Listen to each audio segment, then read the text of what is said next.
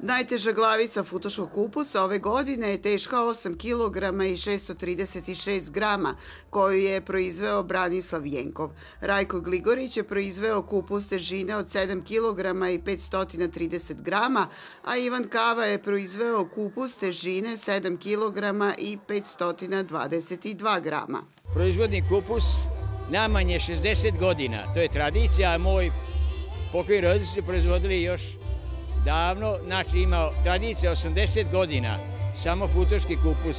Na kupusijadi predstavili su se i đaci futoških osnovnih i srednjih škola. Ovo je štand osnovne škole Desanka Maksimović. E, sve što se nalazi na štandu su radili đaci od 5. do 8. razreda sa svojim nastavnicima. E, sve ručni rad i sve i sam novac koji se prikupi ide u humanitarne svrhe za bolesnu decu. Dolazimo iz poljoprivredne škole, zovem učenika u Futogu i mi ovde naravno prikazujemo naš štand, naše škole. E, generalno možete vidjeti naše proizvode koje mi imamo u našoj školi.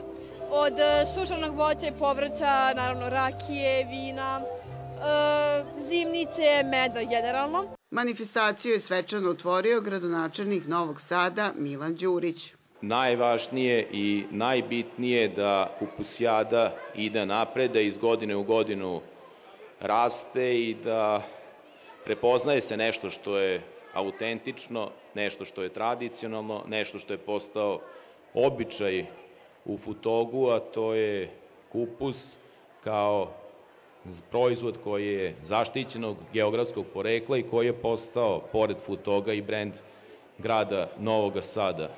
Učenici osnovne škole Miroslav Antić organizovali su mini futošku kupusijadu koja je bila posvećena najmlađim futožanima.